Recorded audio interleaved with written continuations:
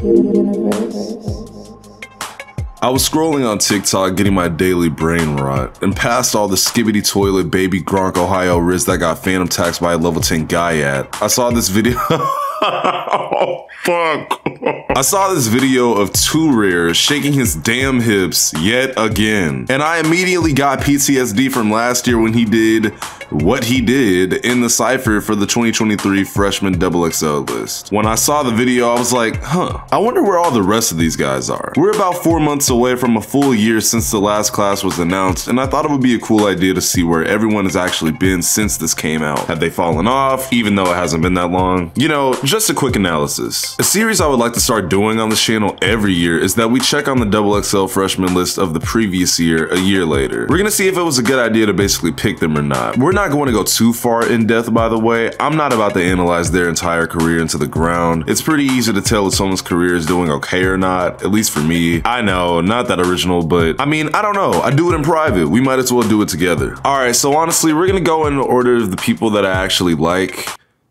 Alright guys, if you enjoyed today's video, I'm just kidding. Honestly, there was one person I was glad was there, and there's a few valid picks that made sense. I mean, with one YouTube search with Central Cee, it's pretty obvious this man has a really good career, like probably one of the best careers out of all of his classmates. Literally nothing on his official YouTube channel has under a million views. He's clearly doing his thing. He did an on the radar freestyle with Drake while Drake was doing his stupid fucking accents. You know, Drake just being Drake as usual. The thing about Central Cee that I think some of you may not understand is that as a non-American artist, their fan base just seems to go way crazier for them. And seeing as I'm not from the UK, I can't speak from the perspective of someone that lives over there, but they seem to go really hard for their artists. Like, it's not like America where a new person pops up every single week. Central Cee is killing it right now as expected though. Shout out to him. Definitely a valid pick. Tia Corine not Kareen, because I was so embarrassed to watch that clip of her explaining how to say her name and realize I was saying it wrong this whole time. Tia Corine, I actually had high hopes for because I wasn't familiar with her work until that cover. But after seeing her interview and her freestyle and something else, I got pretty invested. I also just heard a snippet between her and Rob Banks, and I was like, yo?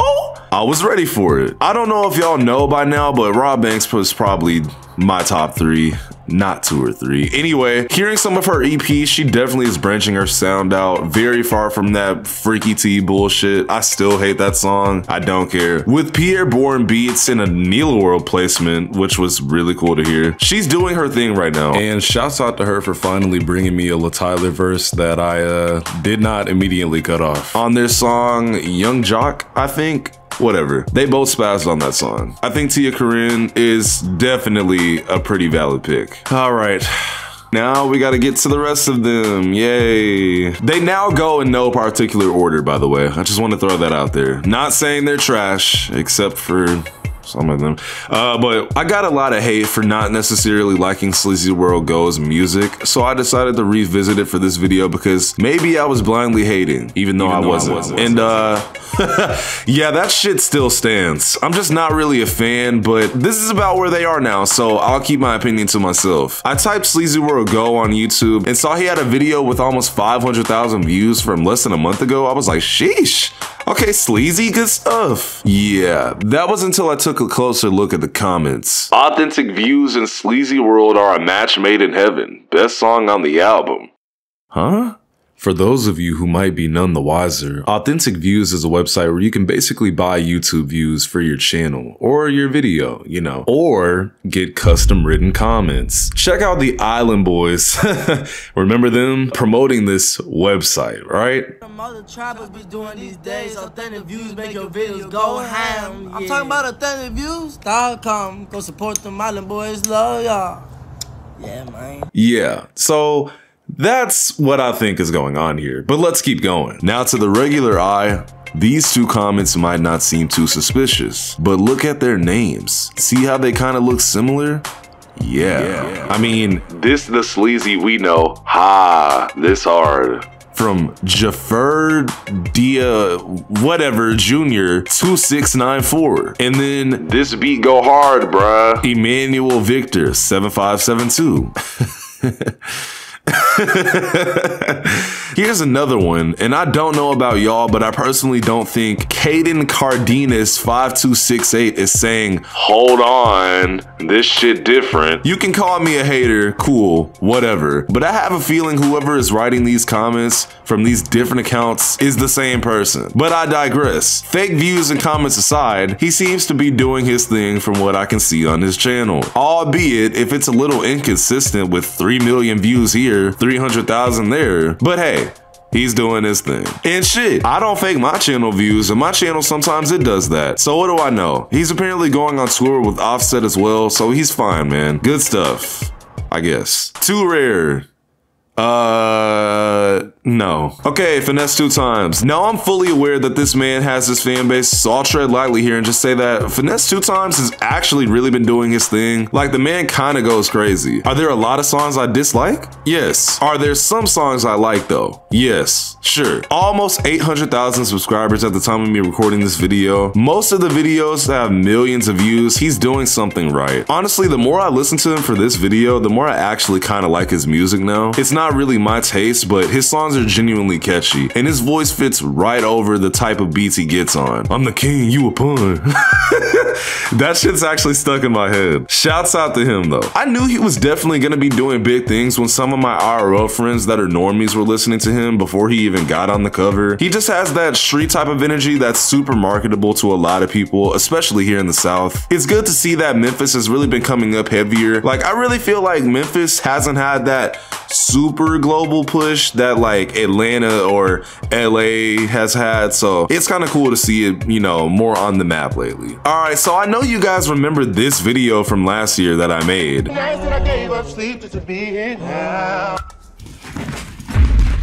Nah, bro. No way. You know, it's funny.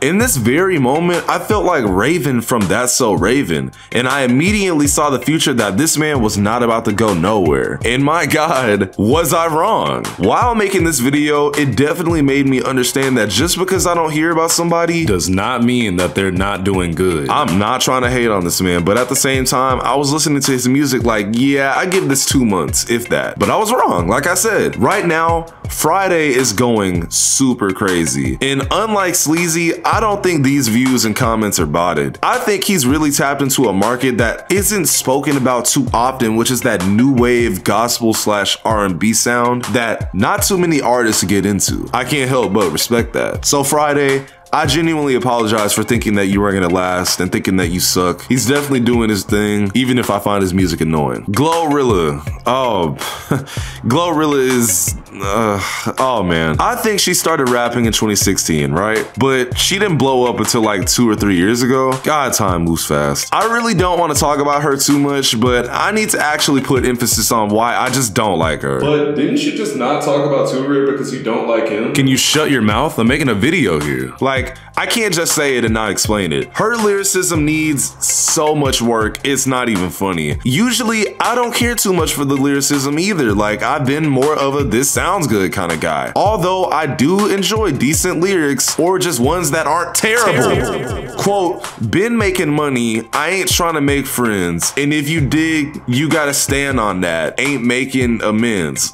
On the gang. Uh-uh, uh-uh, uh-uh, uh-uh, uh-uh, uh-uh, uh-uh uh-uh, uh-uh, on the gang again, by the way. It's just something I'm not particularly getting when people say, I like Glorilla. That's cool, it's just not for me, like not even remotely at all. Do I think she deserves to be on this list? Absolutely, because she's the epitome of what rap can be sometimes. Just fun. Maybe not for me in particular, you know. In fact, anytime I hear her music, I feel like my life gets cut shorter. But fun for the girls, you know she's a real bad bitch or whatever, cool. Not to me. I don't want to talk about her anymore. Oh my god. Luh Tyler. Um, man, I think for once on my channel, I'm not actually gonna say what I really want to say. But what I will say is Luh Tyler is absolutely killing it right now, especially for a kid that's so young. Like I think this kid's only like 18 or 17 or something like that. The one thing I really do like about Tyler, you know, other than him being from Florida, is that with the right amount of skill and push, Tyler is proof that you can literally become a well-known artist at any age, even if you're not a Nepo baby. I think that's honestly one of my favorite things about hip hop, just is how literally anyone can get a big look. Like, think about it. Look at Lil RT. That little nigga needs a whooping, and yet he's making more money than I probably am. Shit's crazy. So shout out to Luh Tyler, man. Like, these kids making all this money and coming up and going crazy and going on tour.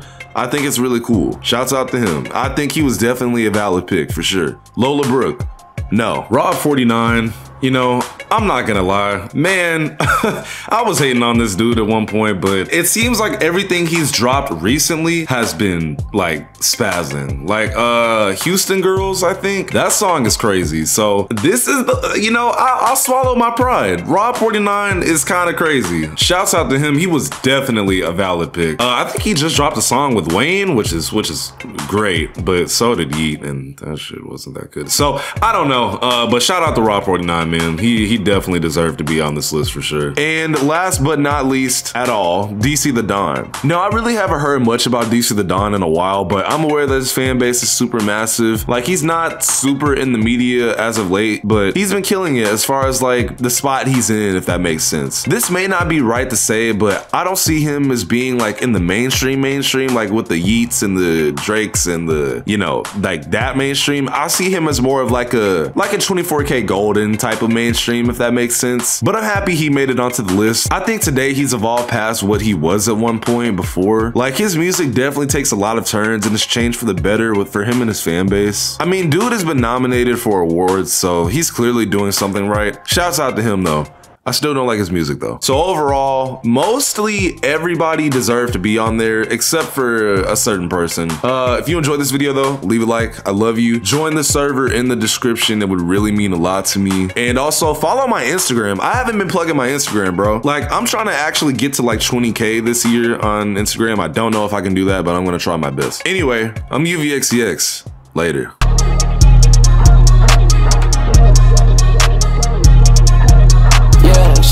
tell my son he's fine. So go stay on this side. I'm ready to give you all out of my mind. I ain't tryna talk, bitch, I got time. I'm walking that with a brand new K.